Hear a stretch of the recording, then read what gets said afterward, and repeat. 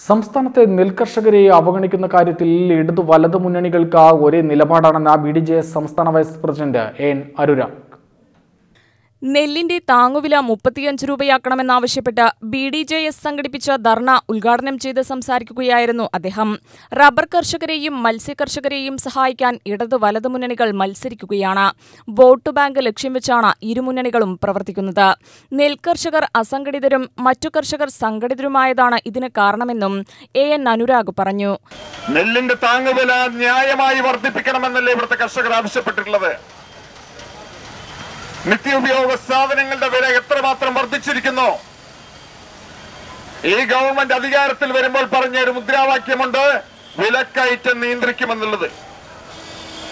പക്ഷെ ഇടതുപക്ഷ ഗവൺമെന്റ് അധികാരത്തിൽ വന്ന ശേഷം നിത്യോപയോഗ സാധനങ്ങളുടെ വില കേരളത്തിൽ എത്ര വർദ്ധിച്ചിരിക്കുന്നു? ഞങ്ങൾ അതിനെക്കുറിച്ച് പ്രതിപാദിക്കുന്നില്ല. പക്ഷേ ഇതിന് ആനുപാതികമായി ഇവിടെ നെൽകർഷകർ ഉൽപ്പാദിപ്പിക്കുന്ന നെല്ലിന്റെ വില കൂടി വർദ്ധിപ്പിക്കാനുള്ള ഒരു സാമാന്യ മര്യാദ ഈ ഗവൺമെന്റിനില്ലേ? ജില്ലാ വൈസ് പ്രസിഡന്റ് ആർ അംബുജാക്ഷൻ അധ്യക്ഷനായി. ആർ ഗംഗാധരൻ കെ ഉണ്ണികൃഷ്ണൻ പ്രശാന്ത് രാജീവ് ദിവാകരൻ എന്നിവർ പ്രസംഗിച്ചു. U T V news Palakkad.